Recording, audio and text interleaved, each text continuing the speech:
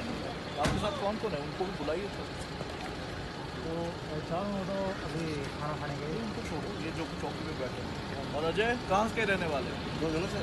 आप होमगार्ड के हो? हाँ जी। और आप पुलिस के हो? पहली बार दुनिया में ना सबको गर्व हो रहा है कि हिंदुस्तानी पुलिस इतना अच्छा काम कर रही है। आपको अच्छा लग रहा है कि नहीं लग रहा? बढ़िया सर। है ना?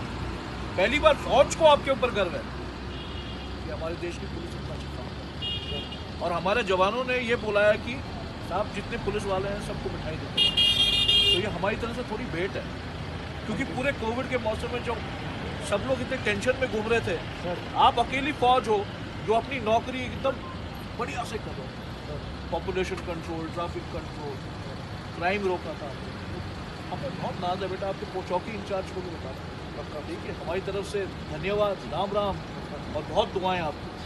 ठीक है ये और चार पैकेट दो इनकी बहुत बड़ी चौकी है। और जो होमगार्ड वाले भी आपके साथ लगे हुए हैं। हाँ उन्होंने भी कितना बढ़िया काम किया। और ऐसे ही लगे रहना बेटा।